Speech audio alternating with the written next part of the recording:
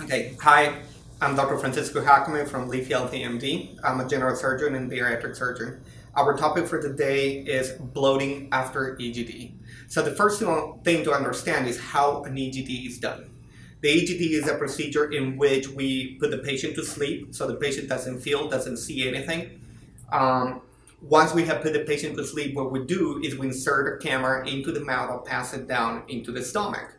The esophagus is a tube uh, that connects the mouth into the stomach, and the stomach is like a, a bigger pouch. But normally, these are not um, these are not insufflated; they're actually totally deflated. So to be able to see and do the procedure, we gotta pump a large amount of air to create the space to be able to see what we need to see. On the EGD, we introduce the camera into the mouth, pass it to the esophagus, into the stomach, and into the first part of uh, the small intestine.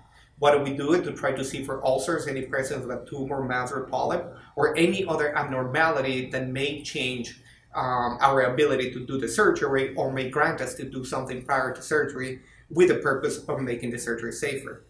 Because during the procedure, we're pumping a lot of air inside the intestine. This is what creates a sensation of bloating. The best way to treat this is to be up and walking. Sometimes you can take Gas-X or any other medication that will help you eliminate the air. Um, this is all for today. Thank you so much for watching our video.